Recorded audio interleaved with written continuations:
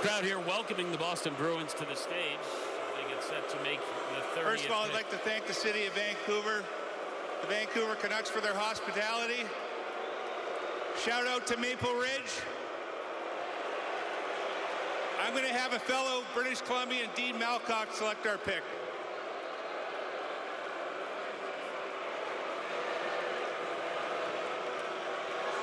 Proud to select John Beecher.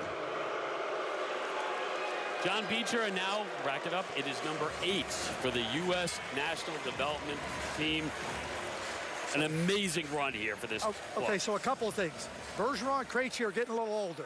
Okay, so to me, John Beecher, this is not a shock to me at all. It's not a surprise. He's an elite skating center iceman.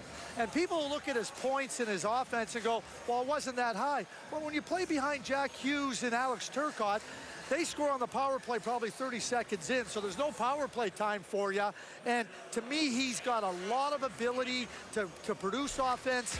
He's learned how to use his skating and his size to his advantage. And to me, you look at the future for the Boston Bruins. They drafted Trent Frederic a couple years ago. They got Jack Studnicka. John Beecher is a nice fit for the Boston Bruins. You know what he is? He's big.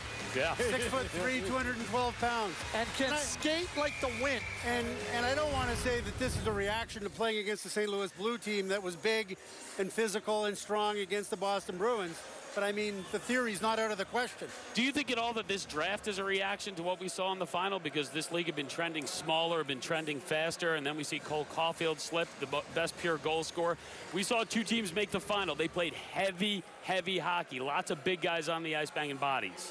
Yeah, well, I mean, it, it, it's one thing, everything being equal, uh, you want a bigger player, but you need competitiveness. And if you're not competitive, and what, what Bob just talked about with Kaliyev, right? So we talk about Ryan Suzuki. It's there's no questioning their talents or their skills, but if you're not competitive, skill, uh, will is a skill. And if you lack it, and we just saw it in the Stanley Cup playoffs, you know what? You're going to have some challenges. And they're not getting any younger at center, by the way. Patrice Bergeron's not getting any younger. David Krejci's not getting any younger. Charlie Coyle's not getting any younger. They need some help down the middle. This, I, this smart pick, very smart.